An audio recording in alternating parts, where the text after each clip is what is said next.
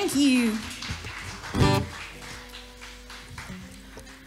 One thing that I love about NAIDOC is obviously the connection that we all get to have with each other.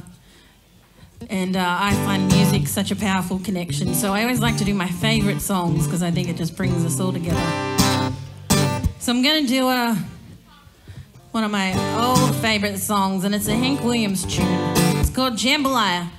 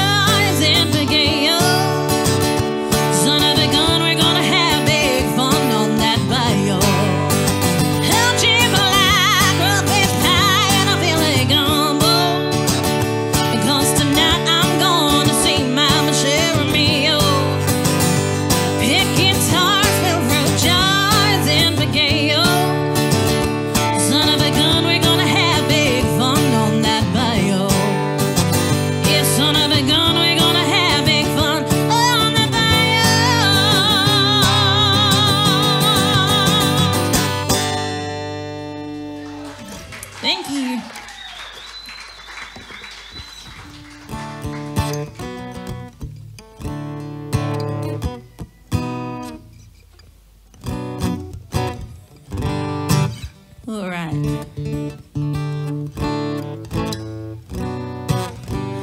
All right, so I'm going to do a song that I wrote. And uh, I wrote it all about a boyfriend that broke up with me to join the army. And everyone always laughs at this part because he didn't actually join the army. I know. He just wanted to get away from me. I don't blame him. I was probably a big old head mess at 18. But uh, it's called Kisses That Boy.